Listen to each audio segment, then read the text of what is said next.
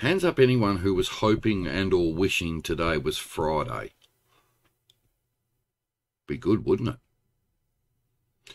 You see, in actual fact, it's impossible because the only way today could be Friday would be you went to bed last night, being a Wednesday night, slept through today, and woke up tomorrow morning. That'd be the only way you could do it. Otherwise, you've got to go through today too, don't you?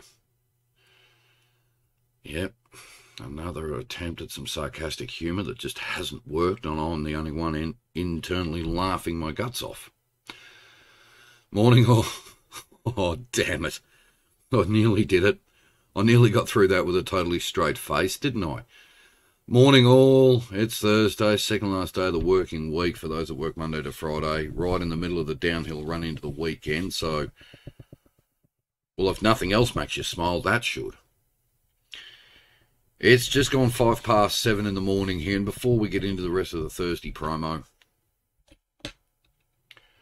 here's another thing that can make you smile on a Thursday sitting down with a nice cup of coffee and having coffee time.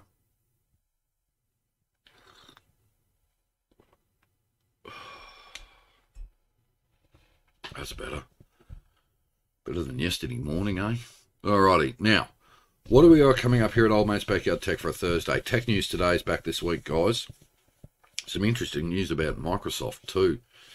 I saw. Um, 80 series video.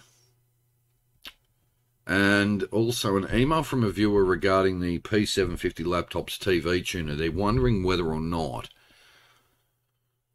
it's more sensitive than your ordinary TV tuner which is quite possible. So we'll talk about that today as well. I think the P750 laptop is going to become a little bit of a troubleshooting.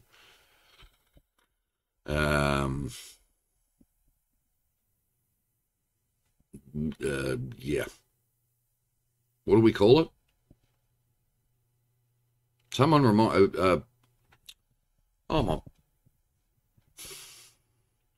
Bit of a troubleshooting. Um video series. There we go. So I'll we'll get that out today as well. Almost got videos out every day this week so far, haven't I? Don't count my uh, don't count my eggs. I guess no, that's not what you say. Oh, I give up. Gonna be another one of these days, guys. Anyway, stick stick around. A few bits and pieces coming up here at Old Mate's Backyard Tech for a Thursday.